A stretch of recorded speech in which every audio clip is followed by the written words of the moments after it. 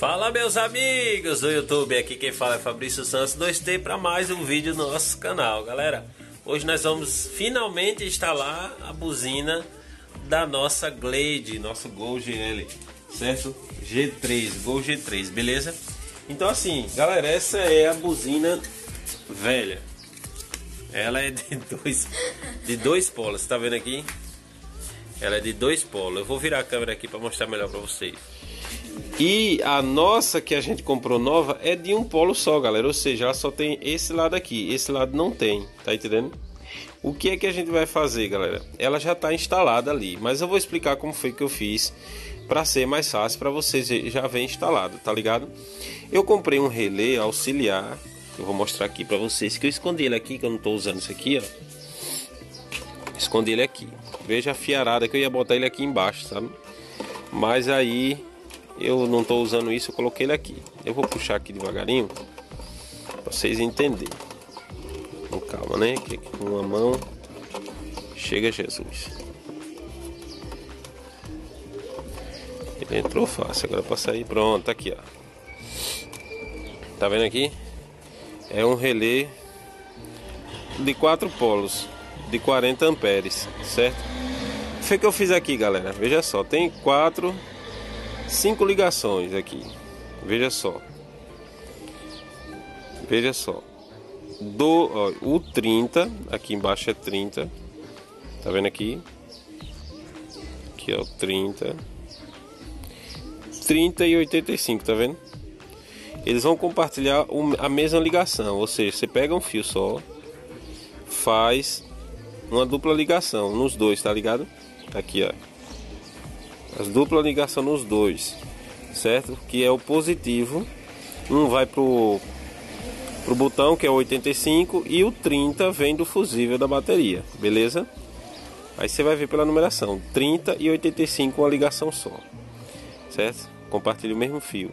Agora o 87 é o que vai para a buzina lá embaixo, certo?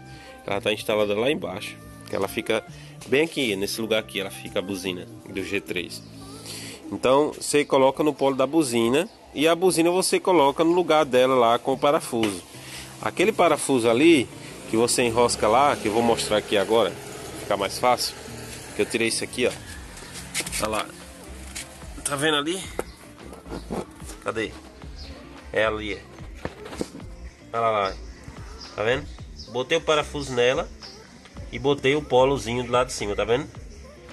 Então, o, o terra vai ser o parafuso, o terra dela, né? Que antes era um mais um polo. Aí, vamos lá. Aí colocado esse 87 lá no polo da buzina, esse 87 aqui, né?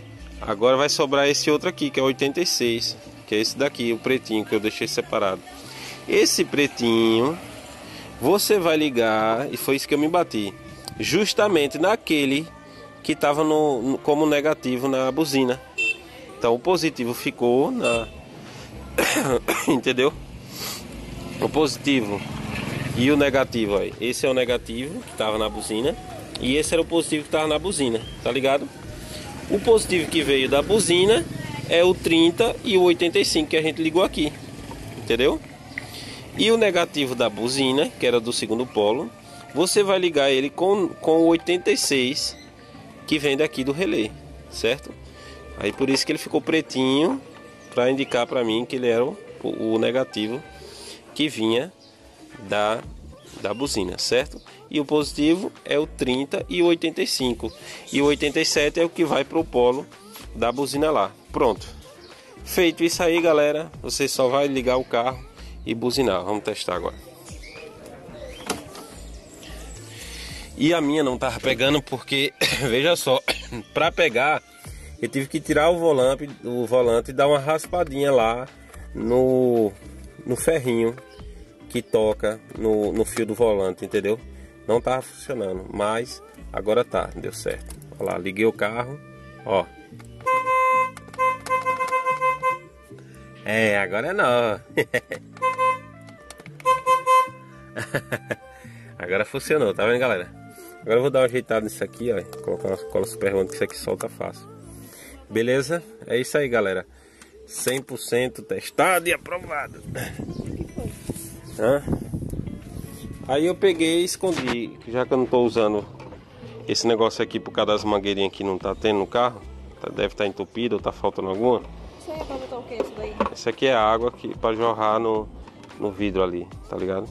Pra limpar, fazer limpar. Pra limpar, é. Só que eu não tô usando, vou jogar ele aqui. Dentro? Porque eu não tô usando ele, não tem água aqui. Aí depois quando eu for consertar eu tiro ele e boto ele ali dentro. Não vai dar problema não. Não, aqui não vai dar não, porque ele fica escondidinho, não pega chuva nem nada não. Entendeu? Não é não, é que ele tá sequinho lá dentro.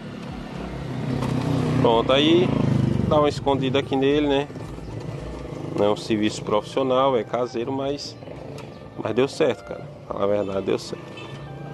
Deu super, hiper, mega certinho. Pronto. Ah, quer dizer que aí é água do vidro, né? É. Pronto. Beleza pura. Aqui ele não sai não. Aí tá aí. Tá vendo? Tá escondidinho aqui no cio. E tá pronta a nossa buzinazinha caseira.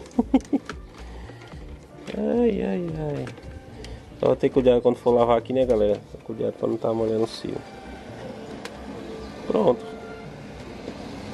Depois vou dar uma escondida melhor nele lá pra dentro, assim. Certo? Ficou filézinho. Era isso aí que eu queria explicar para vocês, para deixar registrado aí. Para alguém, se for instalar, né? Já poder ajudar, beleza? Valeu, galera.